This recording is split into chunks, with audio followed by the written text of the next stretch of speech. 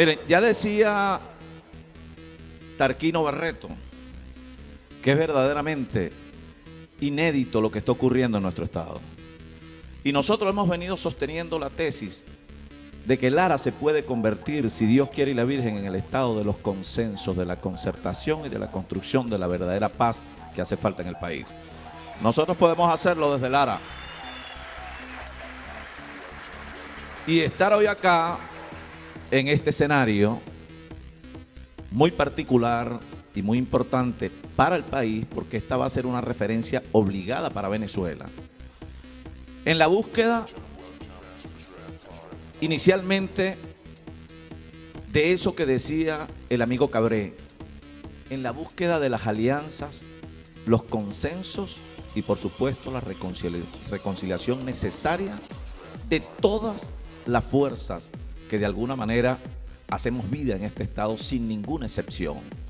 Que hoy estemos aquí, algo que, que fue por iniciativa más de ellos que de nosotros, fue una iniciativa del sector productivo, una iniciativa de José Barrera que veníamos conversando ya desde hace mucho tiempo y nosotros la recogimos con beneplácito desde la gobernación y antes desde la alcaldía, porque con el amigo Cabré, por ejemplo, fíjense, trabajamos temas tan importantes que pueden tomarse como ejemplo de cómo se hacen las cosas en democracia, con el diálogo, con la palabra, con el consenso, con los acuerdos. Por ejemplo, algo hicimos nosotros en aquel rescate de las parcelas de las zonas industriales. No fue una política de arrasar con aquello y entonces hacer el gobierno local fuerte de terrenos en los espacios industriales y dárselo a los amigos o a quien esté en mi partido político. Nosotros lo primero que hicimos fue convocar al sector productivo, una mesa de trabajo. Vamos a hacer una valoración sincera, objetiva, verdadera, que nos permita a nosotros hacer un diagnóstico de esos terrenos que estaban allí en desuso. Se hizo una revisión parcela por parcela con cada representante de la Cámara de Industriales. Y objetivamente fuimos tomando decisiones, eso, en un esfuerzo mancomunado que nos permitió a nosotros explorar de manera efectiva de que sí eran posibles los consensos. Algo parecido hicimos en su oportunidad con el Valle del Turbio. Lamentablemente, eso no, no funcionó a posteriori. Pero sí hubo acuerdos de diferentes sectores, un plan de acción, unos programas para atender lo que es para nosotros un patrimonio vegetal. Eso que nosotros estamos haciendo hoy y eso que hicimos en el pasado debe ser el modelo a copiar en esa Venezuela posible, en donde nosotros tenemos, Dios mediante, que transitar un camino para eso, para el reencuentro. Esta posibilidad de que estemos aquí, gobierno, pueblo y el sector privado en sus fuerzas productivas, eso, repito, es inédito. No hay desarrollo en un país si no hay mancomunidad de esfuerzos y de inversiones. No puede el Estado solo aislarse e ignorar lo que ocurre en diferentes sectores que de alguna manera, bajo la dirección del Estado, asumen el compromiso de construir patria. Entonces esto que estamos viendo acá, gobierno sin distinción, porque cuando hablamos de pueblo no podemos hablar de un solo pueblo, o sea, el pueblo partido. Tenemos que hablar del pueblo en general, sin excepción. Los que piensen como yo y los que piensen distinto a mí son tan pueblos como yo.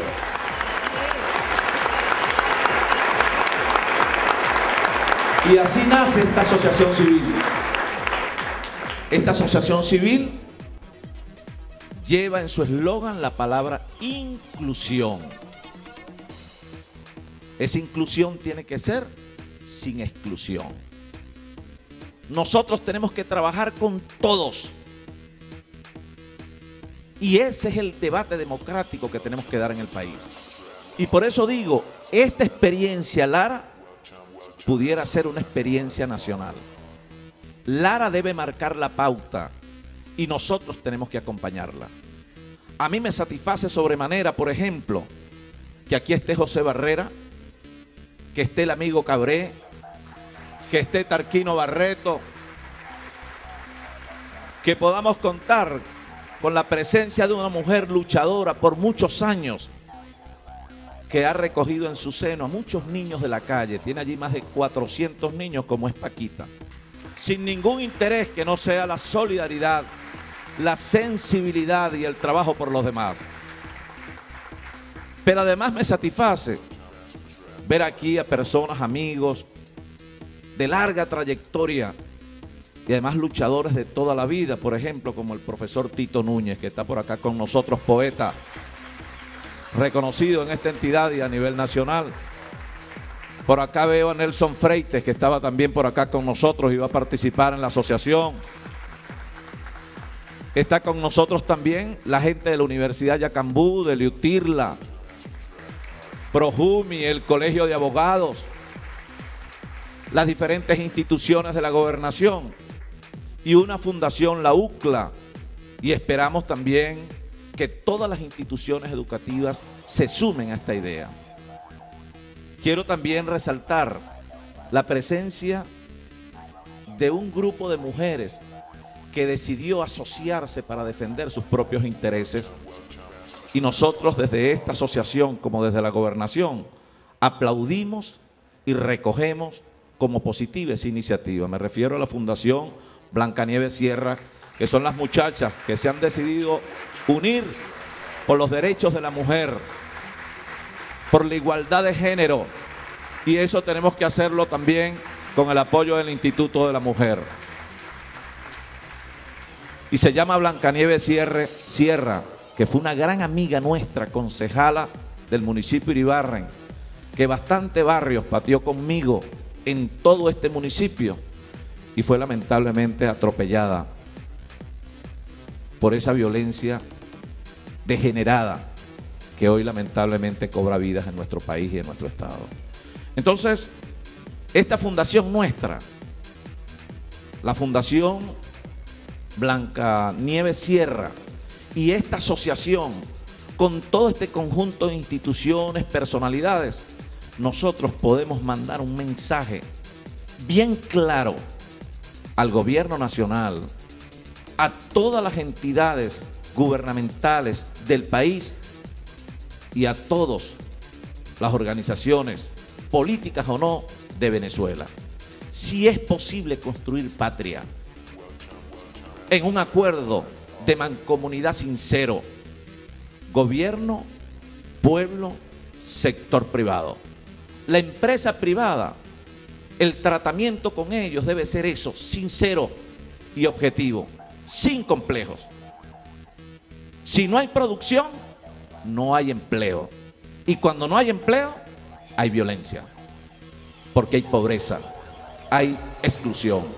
Y si queremos trabajar esas variables que nos afectan terriblemente, el drama de la vivienda, el problema complejo de la seguridad, si nosotros queremos trabajar para esa masa de trabajadores nuestros que requieren una atención no solo del gobierno, sino también de las diferentes instituciones del Estado y privadas, para esa masa de ciudadanos de nuestro Estado que están esperando la mano amiga para la resolución de un problema de servicio, de una vivienda, pero también para la formación temprana.